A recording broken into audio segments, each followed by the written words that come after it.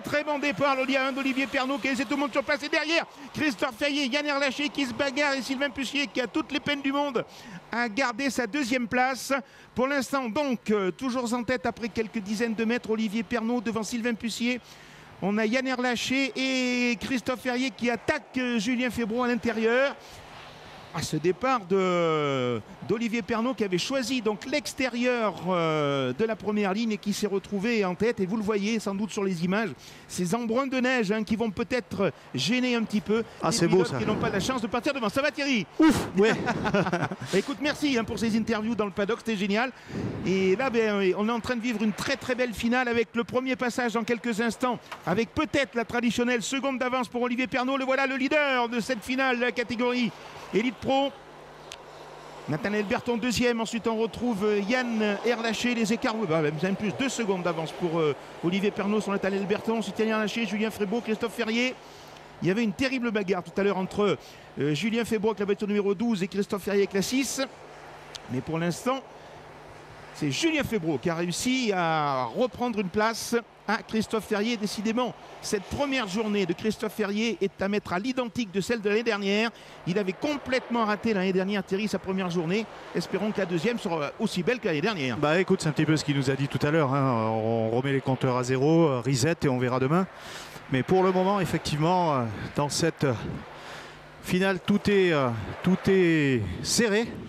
Et on voit des pilotes, euh, Olivier Pernaud quand même un peu, un peu impérial hein, devant, hein, un 37 620. Ah, il se balade. Hein. Ouais, Nathanaël euh, Berton, euh, juste derrière, n'arrive pas forcément à, à recoller, mais on sait, on, a eu l'explication tout à l'heure. Hein. Exactement. Et pour Olivier Pernaud, c'est très bon d'être devant en plus parce qu'il n'est pas gêné par les embruns de neige, il n'est pas gêné par la bagarre avec les autres concurrents, ce qui lui permet pour l'instant d'engranger le record du tour, synonyme d'un point supplémentaire. Donc pour l'instant, euh, bonne opération pour Olivier Pernaud qui aurait dû se retrouver s'il n'y avait pas eu ces bouleversements euh, dans la grande finale et en Super Pole tout à l'heure. Ça s'est joué vraiment euh, dans les tout derniers moments avec la super remontada de, Quentin Giordano. Mais c'est comme ça le sport auto. Et pour l'instant, noyé dans le brouillard de neige, Olivier Pernaud est en train de s'imposer dans cette finale. Bon, on n'est peut-être pas passé dans les trois tours encore, il reste deux tours. Là voilà le diamant d'Olivier Pernaud en tête verte et blanche. Ensuite, on va retrouver oh, le beau passage là, de Nathanaël Berton.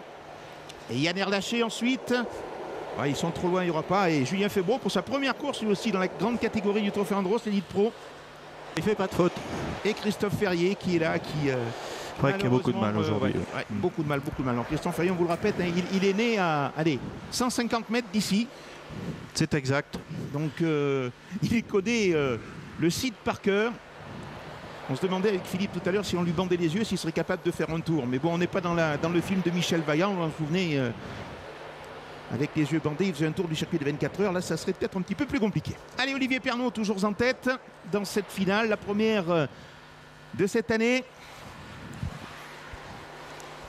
Voilà, une première de Deville 2021 qui doit rassurer son papa, hein, parce qu'on sait que papa regarde, hein, qu'il ben est là. Et, euh, on a eu un petit coup de fil tout à l'heure. Ah ben on lui dit bonjour. Ah, bah oui, oui, oui. attention, voilà. Donc ça y est, ben, Olivier dans son dernier tour, euh, oui, Philippe. Exactement, dernier tour avec toujours le record du tour et il est là avec la voiture aux couleurs de mon bio gourmand. Vous le voyez, c'est très joli d'ailleurs, ces couleurs euh, vertes, blanches et noires de l'Audi A1 d'Olivier Pernaud, toujours avec deux secondes et quelques. Oh, qu'est-ce que je dis deux secondes? Il a quatre secondes maintenant d'avance sur Nathaniel Merton. Mais de toute façon, les positions sont figées euh, pratiquement depuis le départ hein, dans, cette, euh, dans cette finale de la catégorie Elite Pro.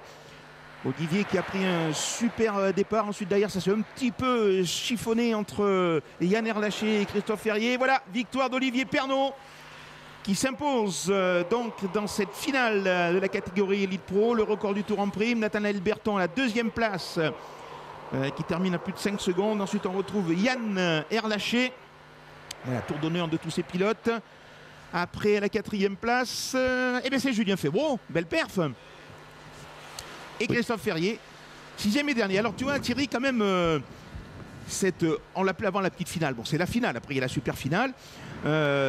Olivier Pernaud s'est promené, un peu déçu sans doute de ne pas être, par contre, dans la grande finale que nous allons vivre dans quelques instants. Mais il sauve un petit peu quand même les meubles, on peut dire.